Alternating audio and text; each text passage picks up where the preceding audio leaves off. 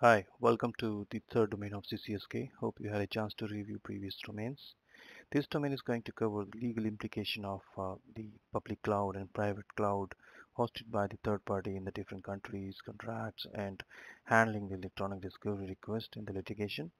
You can expect uh, three questions uh, in the exam from this domain. The, legal framework uh, here, the cloud consumer should choose where their data should be hosted in compliance with the cybersecurity regulations. Um, what will be the location of the uh, the cloud provider, um, what will be the location of the cloud user, and where is the data subject is uh, uh, located, and where are the servers, for example, uh, the um, uh, the workloads and uh, the storage for example in uh, in AWS we have a storage uh, located in the in the different country and the workloads are located in the different countries so we need to ensure during the contract uh, considering the legal frameworks that we need to identify what all compliances we need to meet and uh, what could be the legal uh, challenges there. So we um, also consider the location of the servers, um, the legal jurisdictions based on uh, our infrastructure that we are agreeing with the cloud provider. We need to understand what will be the jurisdiction um, for uh, for any um, potential issue. Common themes uh, has to be there um, across the cloud provider as well as the cloud customer um, required security measures um, has to be implemented in line with the um, uh, data protection and the privacy uh, uh, regulations. Uh, restriction to the um, data border transfer, cross-border data transfer. So it is it is primarily for the countries where the data cannot cross the border without having the localization. Some countries having such kind of laws and some are not. So we really need to understand where we are operating, where um, is going to be the data, where is going to be the data subject. So here the data subject is any individual uh, whose data is, is going to be uh, to be collected. So there are some regional um, uh, examples of some laws uh, in Asia specific. Um, uh, we have Australia, China, Japan, and Russia. In Australia, we have uh, two uh, key laws. One is the Privacy Act of 1988 uh, and the Australian uh, Consumer Law, ACL. So um, the Privacy Act includes other different 13 Australian privacy principles um, which apply to all private sectors and uh, not just not for the profit organization.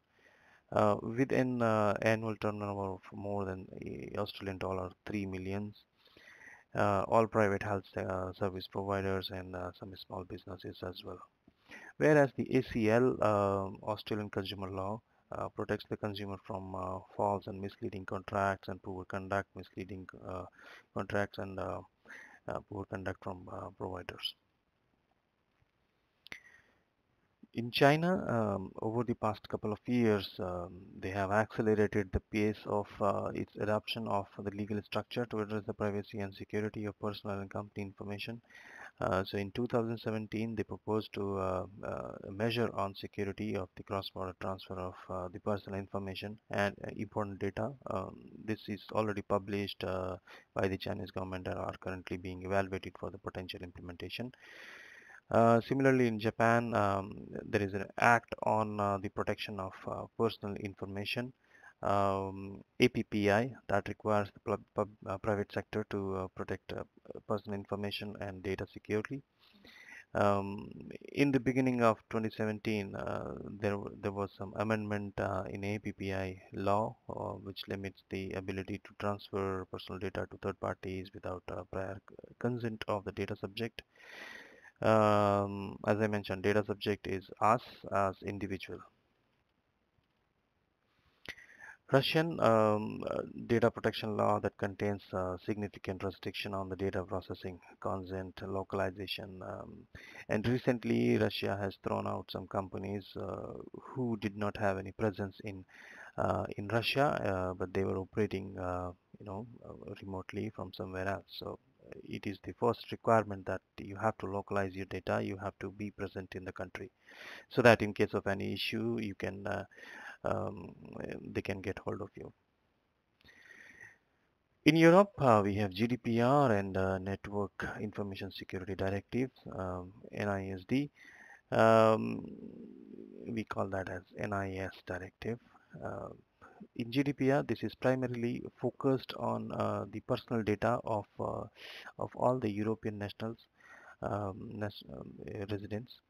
Um, the applicability that uh, talks about the lawfulness, accountability, who is accountable for what, data subjects right, um, it talks about uh, the data subjects right uh, for example uh, we have um, different rights of uh, you know right to object to have their data corrected or erased to be compensated for the damages uh, suffered as a result of unlawful processing uh, also right to be forgotten and right to data portability. Cross-border data transfer again this is the restriction in GDPR as well um, that the, you know uh, data cannot uh, cannot be uh, passed on to the another country. The breach of security it has um, it has to be reported. So very important here um, it as per GDPR uh, it is 72 hours within 72 hours uh, the companies will need to report uh, any breach of security to the authorities discrepancies among uh, these state members. Um, there are numerous instances where uh, each member state may adopt its own rule. Um, for example, Germany requires that a data uh, protection officer to be appointed if the company has more than nine employees. So uh, within Europe as well, uh, different uh, state members can define their own um, on restrictions on top of the GDPR if they want sanctions it is uh, more about the penalties um, in case of uh, NIS directive national information directive it talks about uh, the technical and organization measures and uh, taking appropriate measures notify competent authority. It is it is um, it is more on uh, the the general data protection or general information uh, protection um, in the in the organization uh, to take appropriate measures to prevent and minimize the impact of any incident um, that affects the security of network and information system used for the provision of uh, essential services or to facilitate uh, the continuation of uh, these services. Accordingly, notify the competent authorities, um, provide information necessary um, to the to access the security of their network and uh, information systems provide uh, evidence of the effective implementation of security policies such as the results of the security audits very important uh, in Americas uh, we have uh, Central and South Americas no um, uh, as such uh, obligations there as yet. The countries are adopting data protection laws at the rapid pace.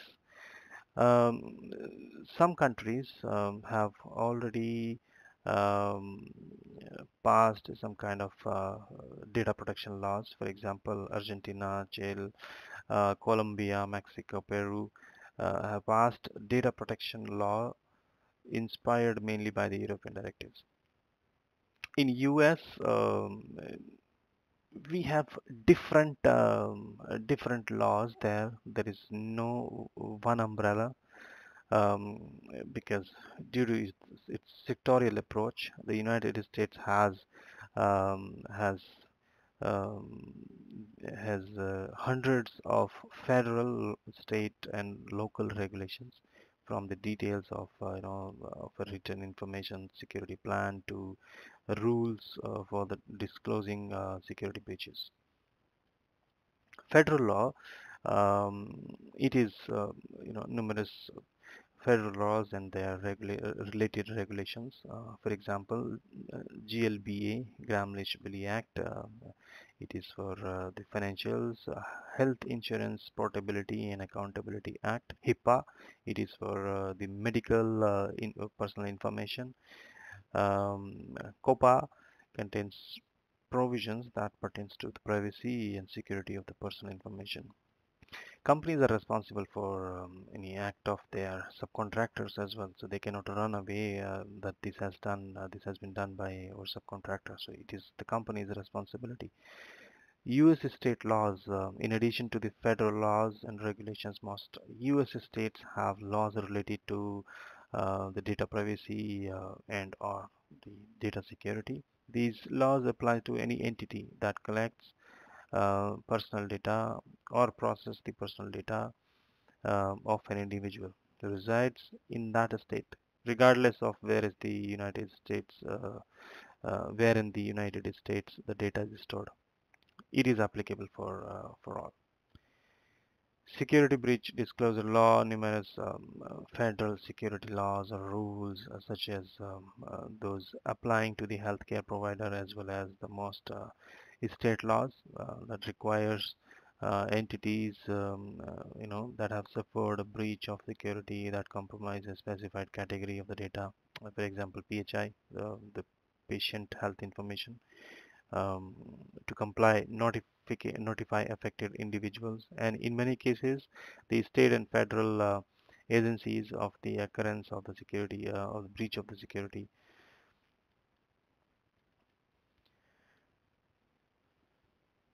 contracts and uh, the provider uh, provider selection. So a uh, few things that we need we should um, take care of uh, the internal due diligence uh, uh, monitoring testing and updating external due diligence contract negotiation rely on third party um, uh, audits and the attestation.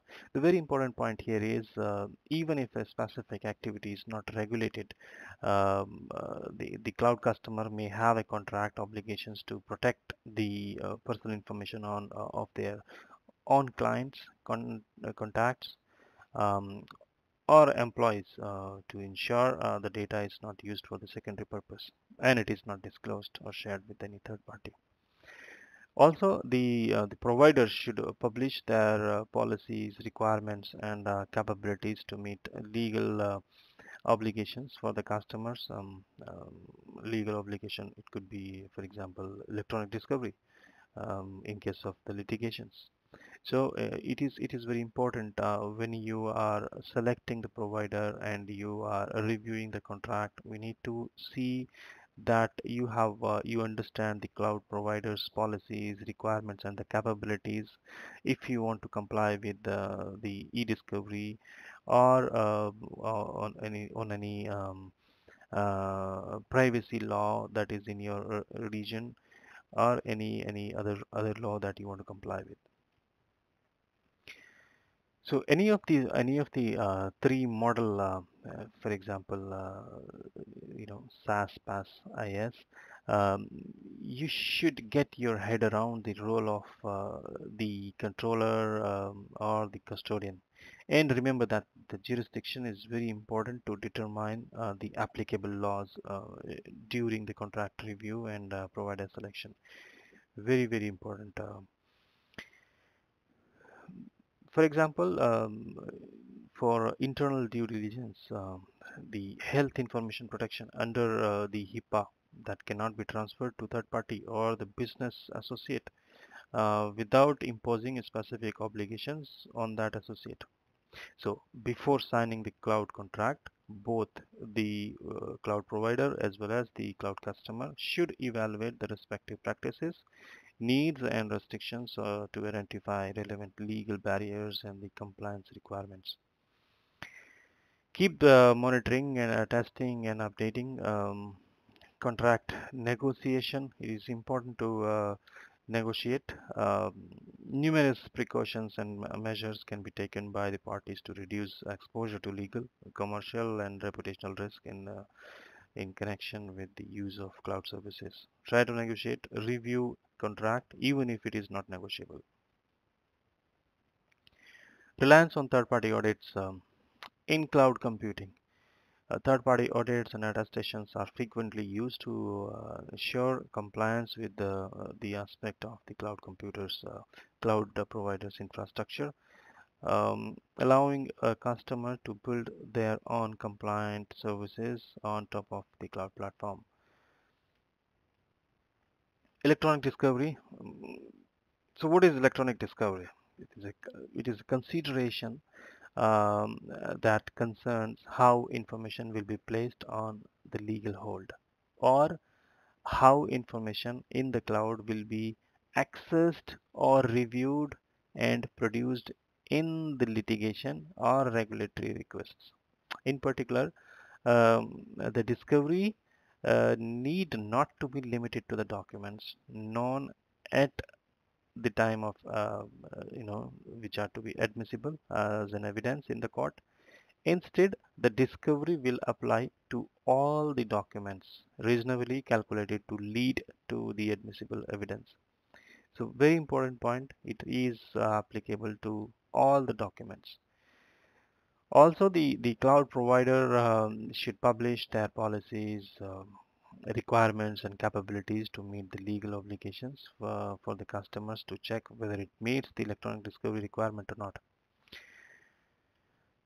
So very important aspects, um, the possession, custody, uh, control, uh, relevant uh, cloud application and and uh, environment, searchability and uh, supporting the e-discovery tools uh, need to understand that.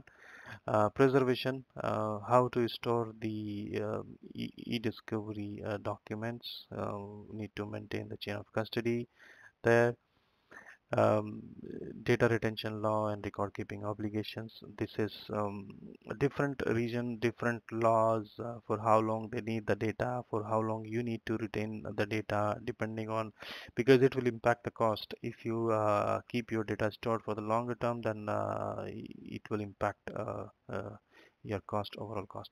Collection um, how you collect it is it is very important uh, for the forensic collection. So bit by bit it is not um, possible or it is very difficult um, in cloud because you don't have uh, the physical access to the hard drive or any any uh, hardware. And also the the same hardware is shared with uh, the other customer as well in uh, in in order to support the multi-tenancy uh, another aspect is the authentication. So any evidence that you provide in the court uh, that should support the authentication uh, because any evidence uh, which is not supposed to be uh, authenticated or doesn't support uh, the authentication mechanism, it will be difficult um, to present in the court and it cannot be considered admissible evidence in the court of law. Thanks for watching. Um, if you like the video, please subscribe for more. Thank you.